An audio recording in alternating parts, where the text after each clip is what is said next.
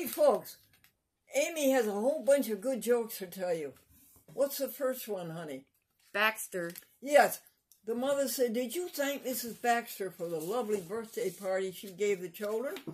And the daughter says, Well, I was standing in line, I was going to thank her, and the mom, and the girl in front of me thanked her, and Mrs. Baxter said, Don't mention it, so I didn't. Hurry up, Damie. What's the A next one? small town. A man went uh, back to his small town, and nobody, first of all, knew that he had left. and nobody, and quite a few people didn't even know him. And the town was so small uh, that the fire department consisted of water picks. And uh, and then he was asked, "Were there any big men born in your town?" And he said, "No, just babies." Keep keep going, Amy. Is this good? Oh yeah. One woman gossiper said to another woman gossiper, "The priest said you shouldn't say anything about anybody." The priest said you shouldn't say anything about anybody unless it's good. And boy, is this good. Um, every year. The woman is making out an application for a job, and the interviewer, the man, is sitting right opposite. And she writes down, uh,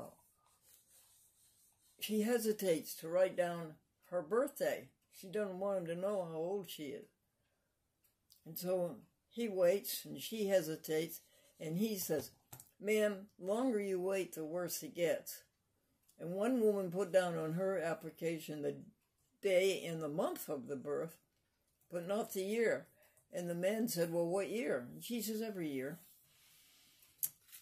Uh, television is. You know what television is? Television is an art form where somebody who can't do anything tries to entertain somebody who hasn't anything to do. Midas. Amy, why did the man quit his job at Midas Muffler? It was exhausting. Um, Maine Woods. A camping party was hopelessly lost in the deep woods of Maine, and they wandered around for hours. Finally, one of them got up enough courage to say, You told us you were the best guide in the state of Maine. And he said, Yeah, well, I am. But right now, I think we're in Canada. Um, Lonesome. The daddy picked up his son at summer camp to bring him home. And the daddy said, Did any of the kids get lonesome? And the boy said, Yeah, the ones who had dogs. Um, left-handed.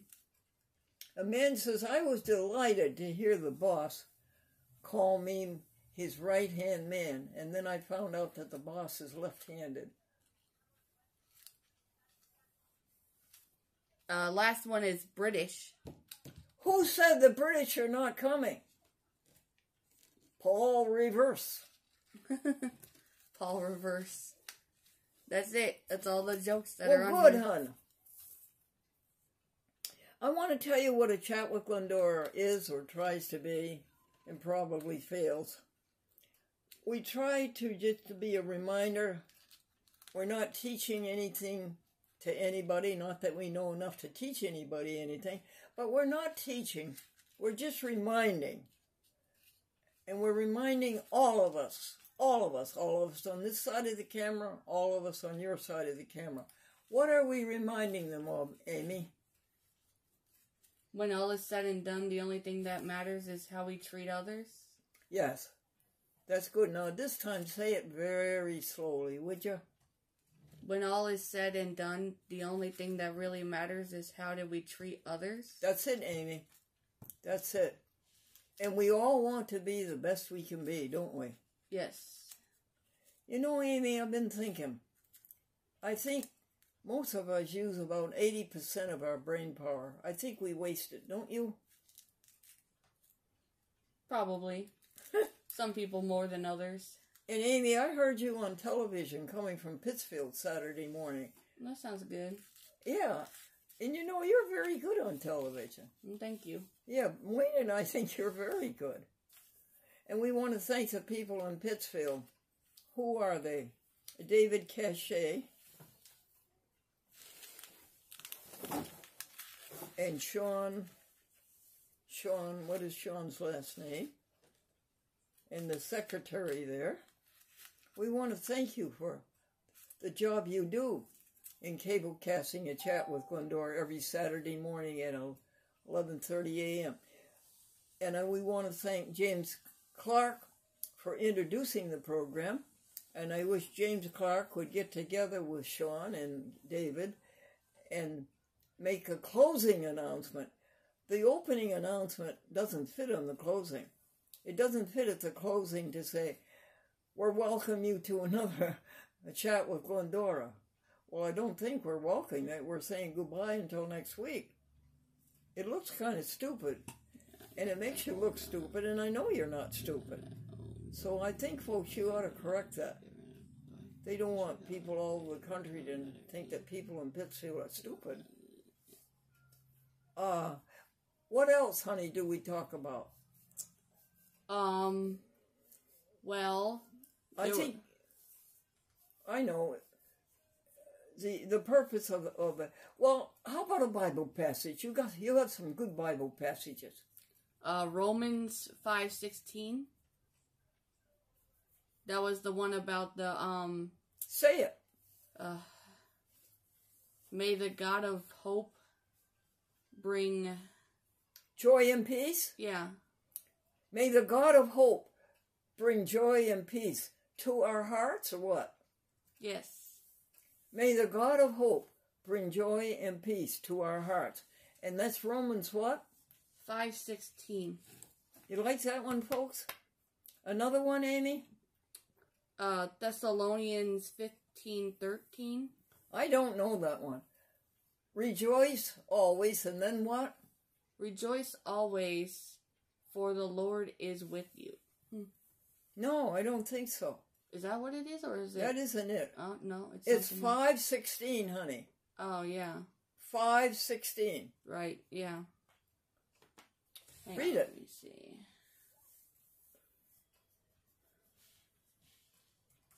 What's the matter, Amy? Well, I don't have the paper in front of me right now. Oh, okay. And you have another? Um, I think those are the only two that I have. Yeah. Amy, why don't we just say the Bible passage? Hang on. Okay, go to another page. Okay. Um, what about the happy happenings? All right. Now, Amy, if you would read these fast, one after another, Okay. It would help the audience. Can I add the paper that is in front of you? Yeah, right in front of me? Yeah.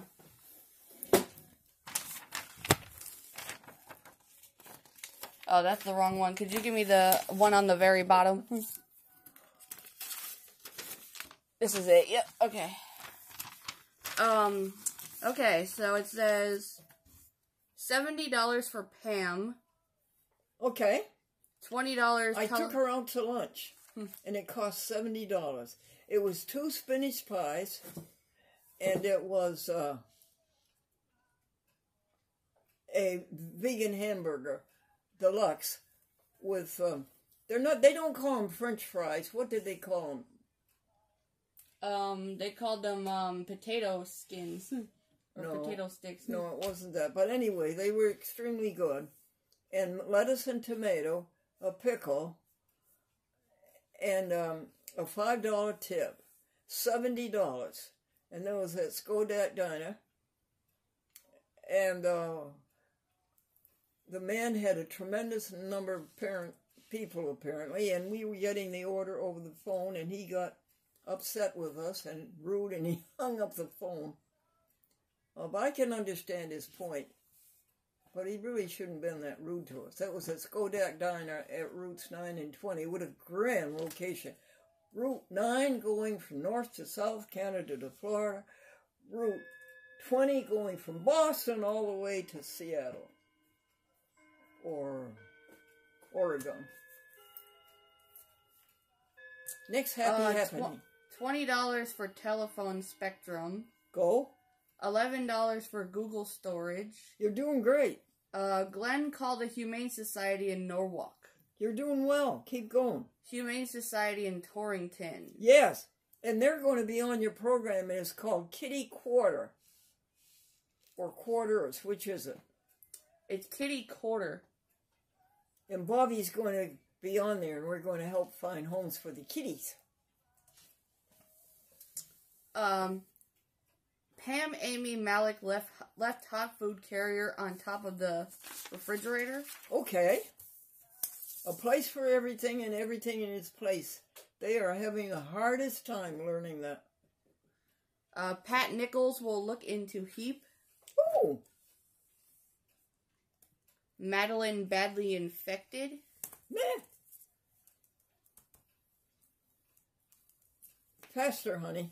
Um, let me see where where did, where oh yeah. Uh, Veterans Administration is bogus. Well, I shouldn't say that, yesterday being Veterans Day, but the Veterans Administration, Franklin was in World War II. You couldn't pick the worst one. World War II, from D Day to Battle of the Bulge, right up to Victory in Europe Day. And all the veterans were entitled to a survivor's benefit. Their wives were entitled to that and they wouldn't give it to Glenny. They said Glenny was making too much money. What does a survivor's benefit have to do with making money and doing five and a half years in World War II? So the Veterans Administration in uh, Columbus County, Columbia County, appealed it, and that's over a year ago. And it took them practically a year to deny the first request. Now, come on, Veterans Administration. Certainly you can run an organization better than that. But as for the veterans, give them all. They deserve all. God bless you, veterans. Um, Nascentia disagreeable about lanyard. Yeah, this lanyard is needs to be replaced. So I called up Medical Alert and I said, could I have a new, or Pat did and said, could we have a new lanyard? And uh, Medical Alert says, oh, you have to have permission of the insurance company, Nascentia, which is the insurance company that Medicaid pays a premium to every month to do service to us. And she gives me a hard time. And the nurses in Buffalo. Now, does that make sense that my nurse is in Buffalo? Don't you think my nurse should be in Albany or, or around here somewhere? So I said, never mind, we'll go buy a lanyard. But she called up later and said she asked him. But I'll tell you, Medical Alert is really good. Amy, you think I should demonstrate it? Um, I suppose, huh?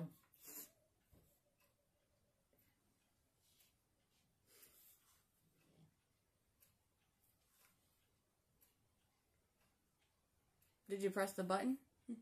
Yes, I did. Hmm.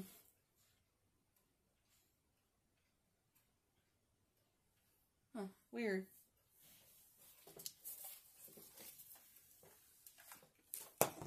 Is this thing on? I can't even press a button right. There you it go. is. Can't wait. Your call will be connected to an operator shortly. Well, I was just wondering if that thing was on. it is. Okay. Hello, Christy with Connect America Medical Alert and Recorded Line, Glendora. Do you need help or medical assistance? No, honey, I was showing it to my friends. Okay, no problem. I have 45 Elm Street, Apartment A for your home address. Yes, and thank you for being so nice to us. You're very welcome. I'll go ahead and disregard. I hope you both have a wonderful day. Thank you so much, Medical Alert. Bye bye. You're very welcome. Bye. Bye. No, Amy, she answered that very fast. Bars. Yes. System ready. She's very, very good. It's a good system. It's called Across America or something, Amy? Connect America. Connect America. Uh, next is Donna gets a C. She might be a good candidate. Uh, Donna, I gave her a beautiful opportunity for a job. She came in Thursday and worked from 9 to 3.30 on it in training. She was due back uh, on uh, Saturday. No show and no call. Donna, you hurt your conscience. Don't. Why did you do that? You hurt your conscience for a lifetime. For a lifetime now, your conscience will be bothering you. And I'm glad she, in a way, that she didn't come back because you know why, Amy? Why? I was paying her two hundred dollars for that. Really? She could get through like even at noontime if she was good at her job. And that's I just decided that's too much money. Uh, two hundred dollars for uh, Thursday and Saturday from nine a.m. to say two three p.m. even earlier. Okay. Uh, McGee finished diary through August. Yes, we're reading the diary from nineteen from two thousand eighty one up to the current November two thousand eighty three. Do you enjoy it, Amy? Yes. I do too. Uh, McGee finished Franklin articles through November. Yes. And then Amy read them up through the first half of December. And you know what we're going to do with those folks? We're going to copy 10 or 20 of them, and there's about 30 every month, you see, because he was on a daily newspaper, the Springfield Union in Springfield, Massachusetts.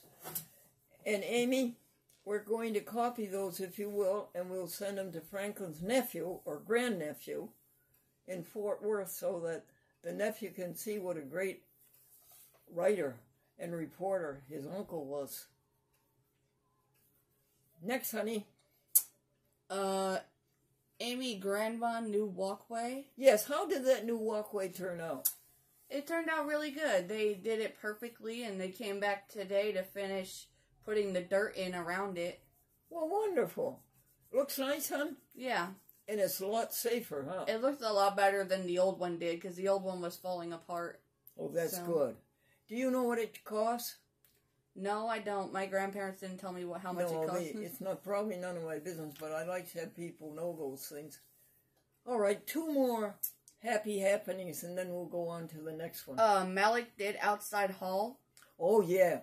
What he does first of all is sweep the concrete stoop, cause the gravel comes onto the driveway, onto the, and then that gravel goes into the hall, and then it goes on our lovely rugs. So he takes the blue rugs and he shakes them; they're all brand new, and he damp cloths them, and he puts them out on the concrete fence and lets them dry in the sun, and maybe let it rain on them, and then let the sun dry the rain. And then he uh, sweeps the outside hall floor, and then he swabs the deck. And he did that, and I'm going to give him that as a job every Wednesday, okay, Amy? Okay. And then Tuesday he'll do uh, he'll scrutinize two columns in the museum, okay? Sure. Now, what will he do on Thursday? What will he do on Thursday?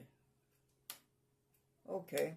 Uh, he lost the election by only 50 votes. And the reason he lost it is that he wasn't listed twice for two parties on the election, and the Republican opponent was. So the Republican won. Uh, he, he was at a, uh, a restaurant having a cup of coffee, and a man sat down beside him, and he said, I'm the Republican candidate uh, in our town. You're the Democrat candidate. He says, I really enjoyed your speeches. He says, I enjoyed him so much, I'm going to vote for you. Next, Amy. Um, Franny from Newtown laughed at joke for first time.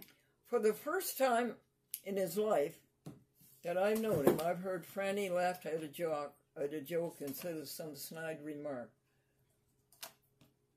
You want me to tell you what the joke is? Everybody laughs at it. Adam was talking to God. Adam said, God, why did you make Eve? And God said, Well, I thought you were lonesome. And Adam says, God, why did you make her so beautiful? God says, So you would like her. And Adam says, God, why did you make her so dumb? And God said, So she would like you. Now, listen, folks. Amy, first of all, how many minutes do we have left? Uh, we're at 20 minutes, so we have 8 minutes left. Okay, let's try for this one. Or at least we'll go as far as we can. Don't pay any attention to bad. Don't speak bad. Don't see bad. Don't hear bad. Don't think bad. Don't give any of your time, any of your life, any of your energy, any of your thought to bed. Like the boy who woke up in the middle of the night screaming and thrashing, The monsters! The monsters! His mother came into his room. She turned on the light. There's no monsters. But they were here. No, they were never here. You thought they were here. No, you thought the bed was here. You okay if you want to admit there's bad, go ahead and admit that's bad, but you don't have to think about it. You're in control of your thought. You can think about good. Don't think about bad. You've been brought up to think about bad, but don't you fall for it. You think about good. Don't you give any time to bad, any life to bad, or any energy to bad, or any thought to bad.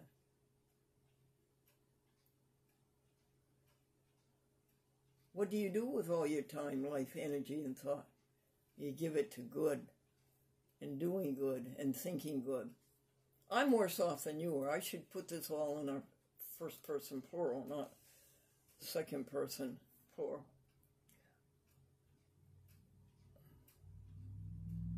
So all of us should give all of our time, energy, and thought to doing good, to being kind,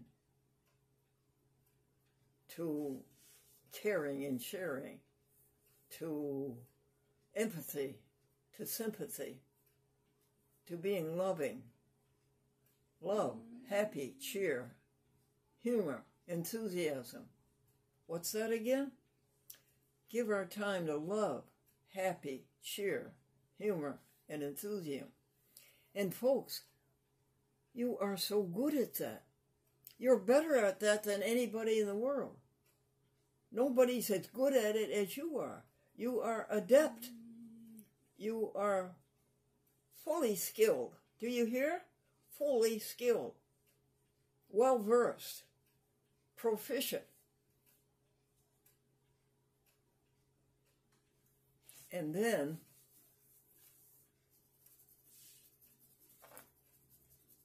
do everything that your conscience tells you to do. If your conscience tells you to do it, you get up and do it. If your conscience tells you not to do it, don't you dare touch it.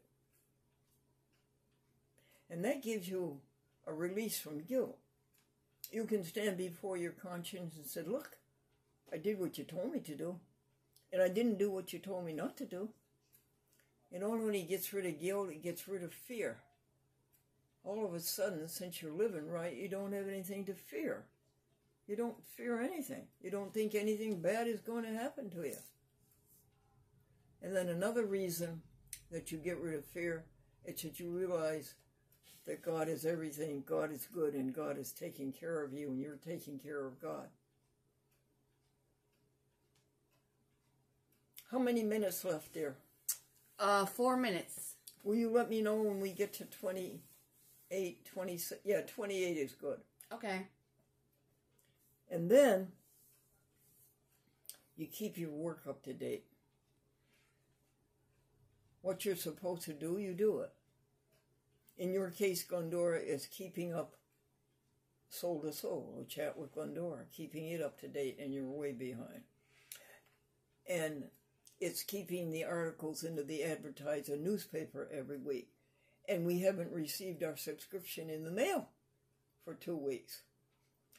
And it's the regimen of saintly eating. the regimen of saintly eating. And then you learn that everything has a place and everything is in its place. A place for everything and everything in its place. A place for everything and everything in its place. And you don't criticize and you don't complain. And you be refined. Keep your hands away from your face unless you're in the bathroom. Be refined. 2 o'clock p.m. 85.6 degree Fahrenheit. 85 degrees in here. And uh, that's a cute little clock. It gives you the inside temperature. Glendora's temperature year round is 78 degrees. Uh, and you speak good English. And you have a good vocabulary, a good, sharp, workable, beautiful vocabulary for English language, which is so beautiful. And what else is there? And you keep doing these beautiful, good things day after day after day. And you know what, folks? We find the truth, the great big truth that God is love. We at last find out who God is. God is love.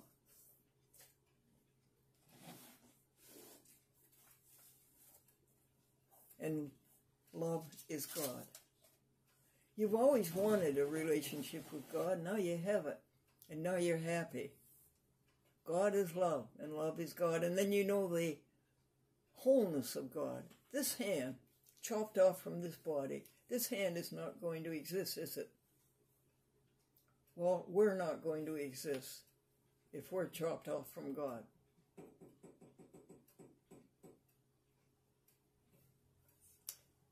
And then you learn another great big truth.